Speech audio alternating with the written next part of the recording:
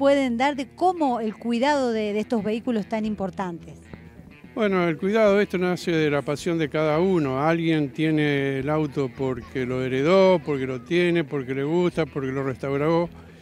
Y después ya se hizo de, de sí, de conservarlo y tenerlo. Y participar en todas estas actividades que son los que el movimiento que tiene la escudería sin fines de lucro, entonces es una forma de poder mostrarlo y disfrutarlo.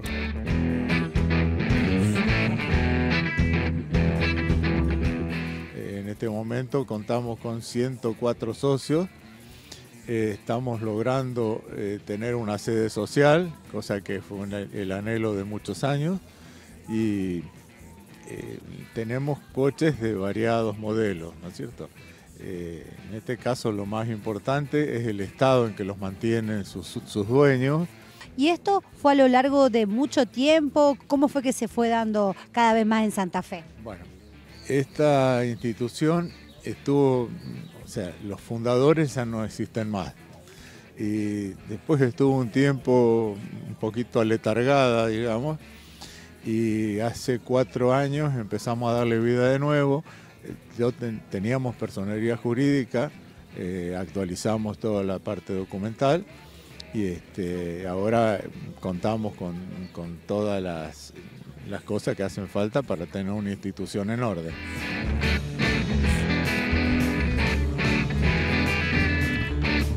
¿Qué es lo que se vivió esta jornada tan linda aquí en Cortada Falucho con estos autos? Contame un poco. Bueno, así es, la verdad que disfrutamos una, de una tarde muy linda. Eh, la municipalidad nos convocó con la idea de recrear los 30 años de la reforma de la Constitución, entonces nos solicitaron dos autos de cada época, de cada año en el que se hizo la reforma y los lugares por donde anduvieron los convencionales constituyentes.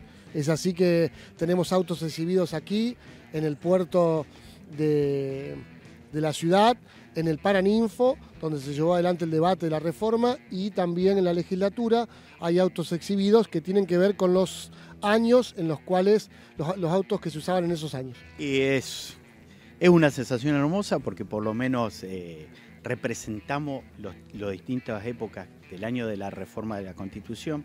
Es un placer, un honor participar y que nos hayan convocado y traer un pedacito de historia de todos estos autos y que podamos compartirlo con el público presente y con las autoridades también de, de la ciudad.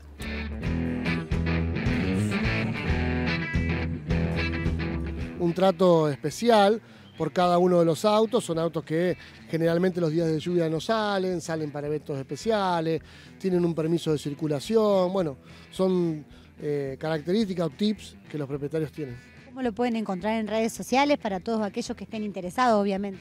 Nosotros en redes sociales somos Escudería Santafesina, tanto en Instagram como, como en Facebook. Y bueno, somos de acá de la, con sede en la ciudad de Santa Fe, pero... Eh, estamos en toda la provincia, tenemos socios en toda la provincia.